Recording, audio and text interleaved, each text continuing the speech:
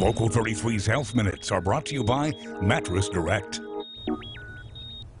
Aspirin regimens are now no longer being recommended to prevent heart disease or stroke for healthy older Americans. New research showing it can cause severe bleeding inside of your skull. Thanks to that new information, the American Heart Association and American College of Cardiology have changed their recommendation guidelines. Reed Binion has more in this morning's Health Minute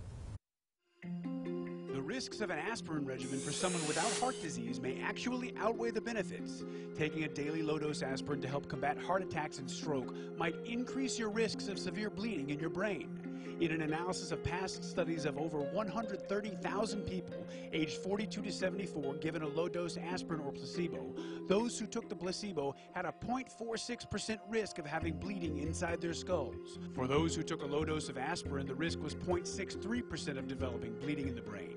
People from Asian backgrounds and those with a body mass index under 25 had the highest risk. A low dose daily aspirin regimen had been recommended for older adults, thanks to aspirin's ability to prevent platelets from forming a clot in the arteries. With this new evidence, aspirin is no longer recommended to prevent heart disease for healthy older adults who don't have a high risk of developing or already have existing heart disease and may just be a waste of money or worse. It could even raise your risk of internal bleeding or bring on an early death. For today's Health Minute, I'm Reed Binion.